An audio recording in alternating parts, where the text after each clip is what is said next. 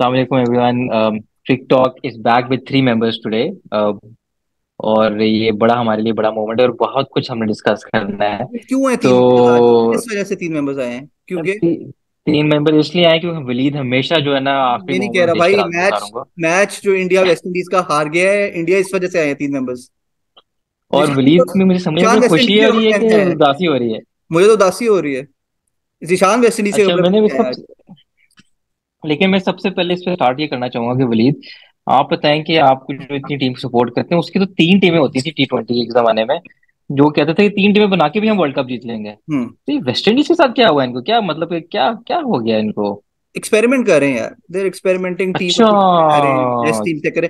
और दूसरी बात यू हैव टू रिमेंबर कि T twenty is not the focus for this year ODI focus अच्छा। हाँ। ये बात सही है ओडीआई में आपने परफॉर्मेंस देखी है इंडिया की? अभी पिछले तीसरे मैच में कुछ तकरीबन 200 रन से हराया यार। अच्छा वली तेरा ये जो हाँ। नया तरीका है ना इंडियंस की टेकिंग करने का और ना पता चले कि तू उनकी टेकिंग कर रहा है आई लाइक दिस ये अच्छा लग रहा है सब। हर चीज़ में कॉन्स्पिरेसी थ्योरी बना देते हैं। नहीं नहीं नहीं। ये सही कह रहा है तू बिल्कुल वैलिड पॉइंट है कि एक टी सिंपल ट्वेंटी फोकस नहीं था इस वर्ल्ड कप होंगे ज़ाहिर है वर्ल्ड कप का ईयर है तो पता नहीं क्यों रखा रखा क्यों? पता नहीं क्यों रखा। यार अच्छा खैर वो तो वो तो जय शाह की गलती है जय शाह की। जय शाह की सॉरी अगर मैं अपना मौकफ बयान कर सकूँ तो ये है भाई कि देखें इंडिया जो है वो अपने से वीकर टीम्स को अपॉर्चुनिटी प्रोवाइड कर रहा है। हाँ ये देख ये बात। बताओ। है। ये सही कह रहा है ये अच्छी ट्रेनिंग किया आप मुझे बताओ। लेकिन पता ना चले इंडियन फैंस को आपकी तरफ़ ही हूँ। मुझे एक बात बताओ। इंडिया की टीम पाँच टी ट्वेंटी क्यों खेलेगी वेस्ट इंडीज के साथ? पागल है वो। दिमाग खराब है हाँ। हाँ हाँ हाँ हाँ हाँ पागल है भाई बात ये है वो एक्सपेरिमेंट करें अपनी बेंच स्ट्रेंथ चेक कर रहे हैं। अब आप देखो उन्हें क्या क्या चेक कर लिया उनने अपने डिफरेंट किस्म की ओपनिंग कॉम्बिनेशन ट्राई कर लिए। कुछ किशन किशन लेकिन मसला ये मसला ये कुछ भी नहीं चल रहा ना एक्सपेरिमेंट तो फ़ायदा भी नहीं भाई क्यों चल नहीं चल रहा। रहा है यार? क्यों नहीं चल रहा भाई? क्या चला है? Arshdeep Singh is back in form fully fit back in form ठीक है? अर्शदीप ने बहुत अच्छी बॉलिंग अच्छा। करी है। तो उसको टेस्ट कर रहे थे? उसको टेस्ट कर। अच्छा असली को टेस्ट कर। रहे थे अच्छा दूसरा ईशन किशन जो है उसकी उसको आपको लग रहा है कि भी एक विकेट कीपर बैट्समैन आपके पास एक अवेलेबल है ठीक है? बिल्कुल। उसके अलावा आपने कोहली और रोहित शर्मा को वेल डिजर्व रेस्ट दिया।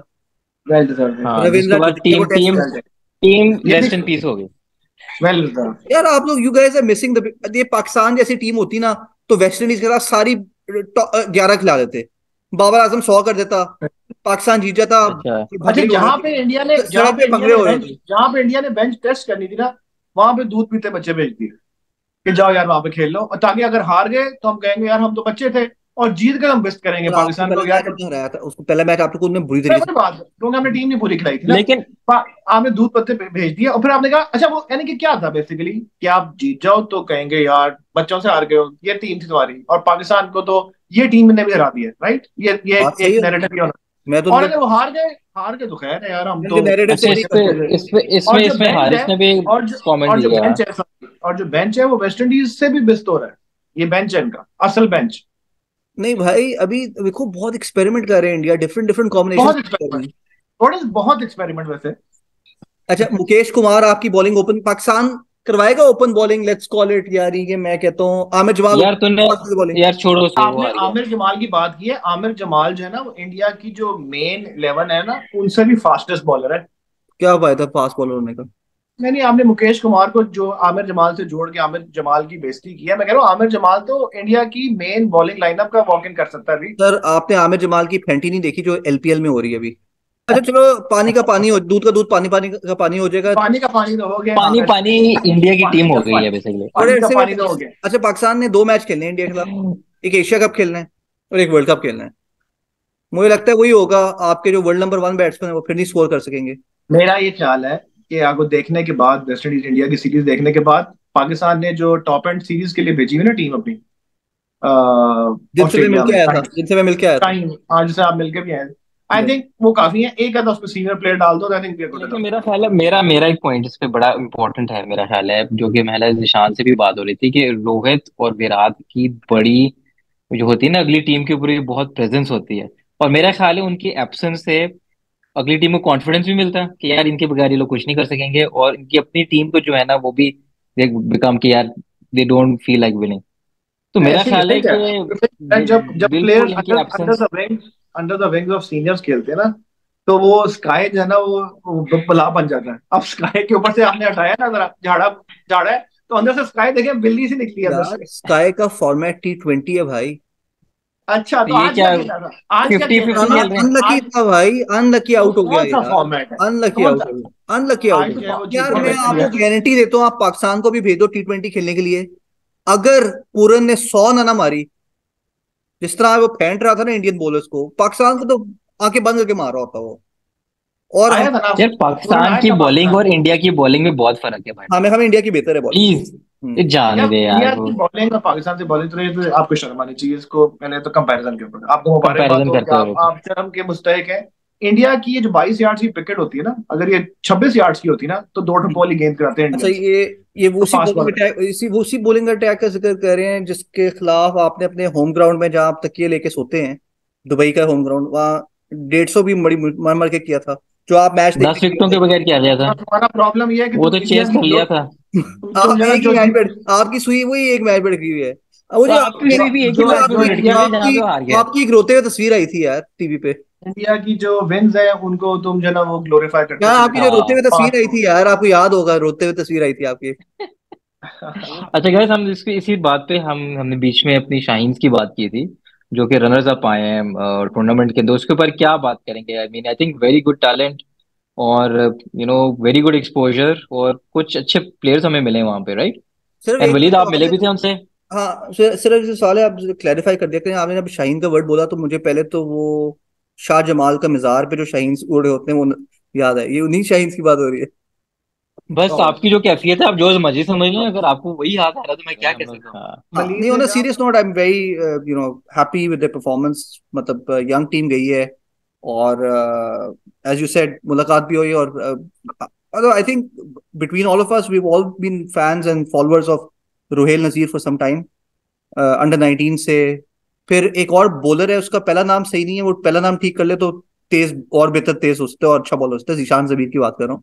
अ, तो और आई थिंक बहुत अच्छी परफॉर्मेंसेस रही देखो तो फाइनल में पहुँचे चार मैच जीते दो हारे। एक ही टीम बोगी टीम थी उनकी पहले भी इससे हारे और फाइनल भी हारे but you know round of applause for them like they played really well yeah really well and I think ये वही मैं जैसे हम बात कर रहे थे कि बहुत अच्छा एक्सपोजर है यार. I think this should be continued जिस तरह जो भी पहले मैंने नहीं कभी देखा कि ऐसे टूर्नामेंट्स अरेंज हुए हो.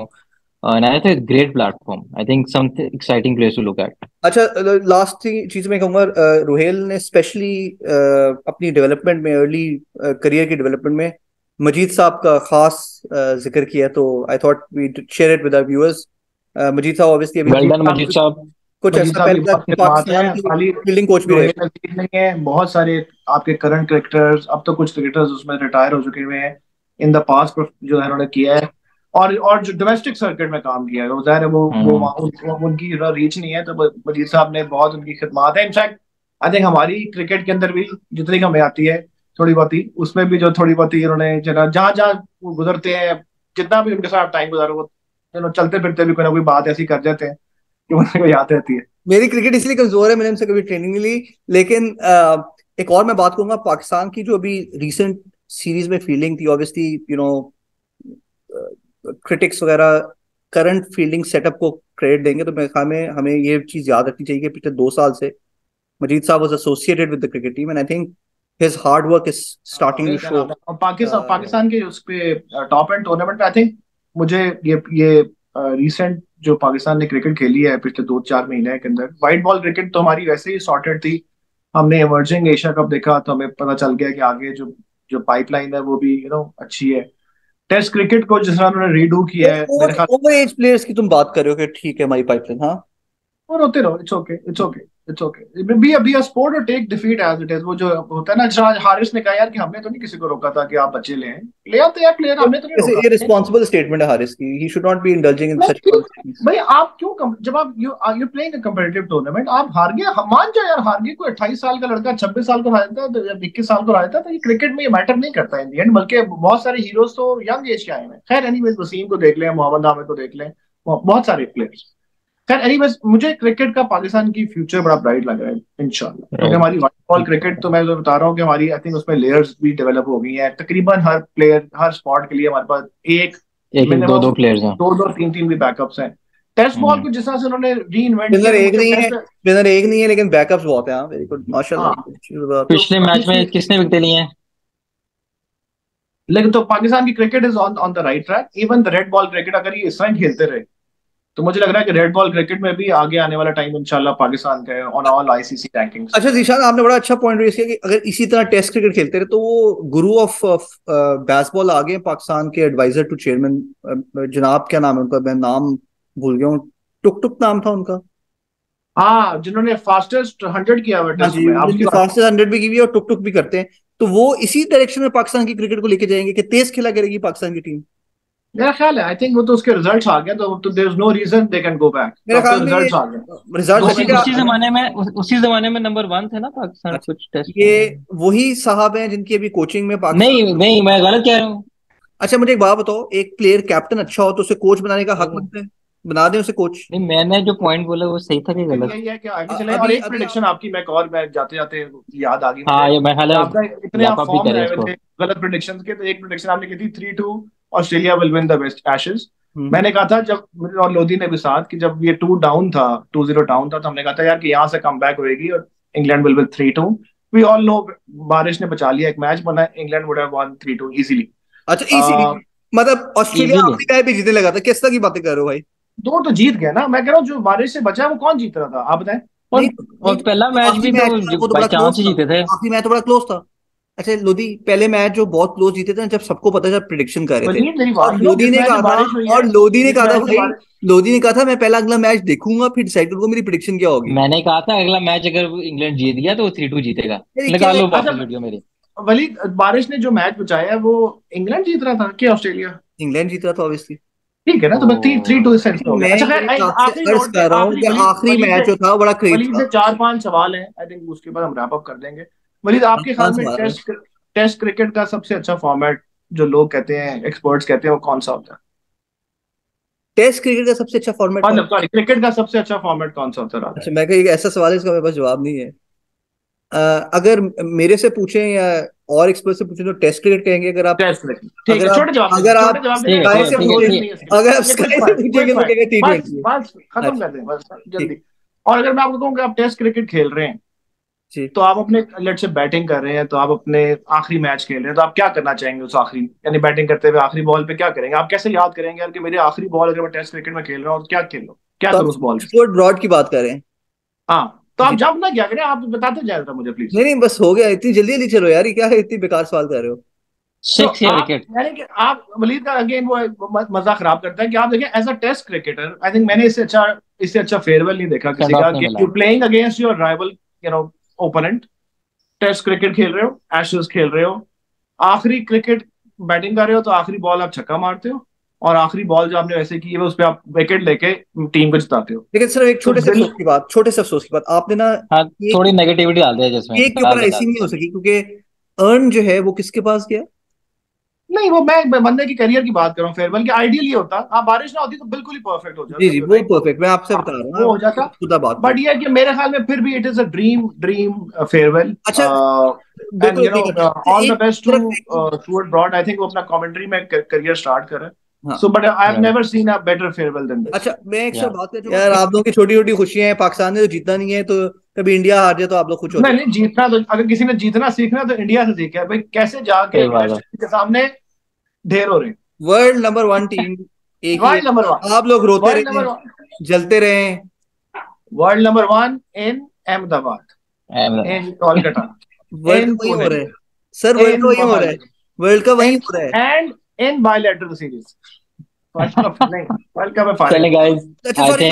इस बात पे Lodhi I have to. Ask question आपको ये पता है ना कि पाकिस्तान और इंडिया का जो आपस में रिकॉर्ड है जो पाकिस्तानी बहुत चेस्ट थंप करते रहते हैं कि पॉजिटिव है वो आपको पता ना किधर पॉजिटिव है?